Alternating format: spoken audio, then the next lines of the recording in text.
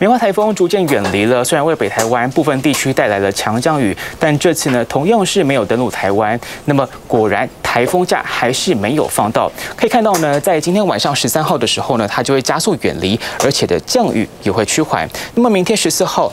北部还有东北部有可能会出现零星雨，那么其他地方则是有可能可以看到太阳公公露脸。但现在其实不只有梅花，还有这个新的热带性低压在这个地方生成，它有可能呢会变成今年的第十四号台风南马都。不过一样，青台的几率还是很低。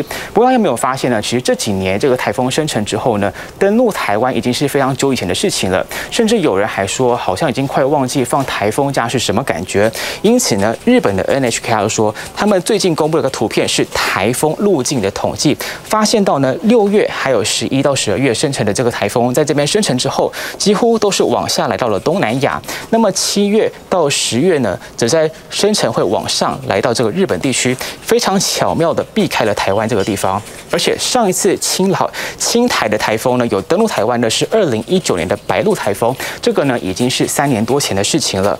那么中研院的学者说，它可能是跟反圣音现象有关，主要呢就是因为声音现象的时候呢，这个太平洋高压的范围大概是一个横的椭圆形，那么当中就有包含到台湾这个地方。但是如果反声音的话，它就会变成一个直的椭圆形，那么就只有到日本这边的而已。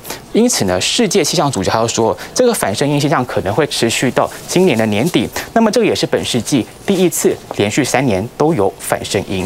请支持 TVBS 国际 Plus 全新频道，让您扩大视野，掌握趋势，接轨全世界。恳请订阅，开启小铃铛。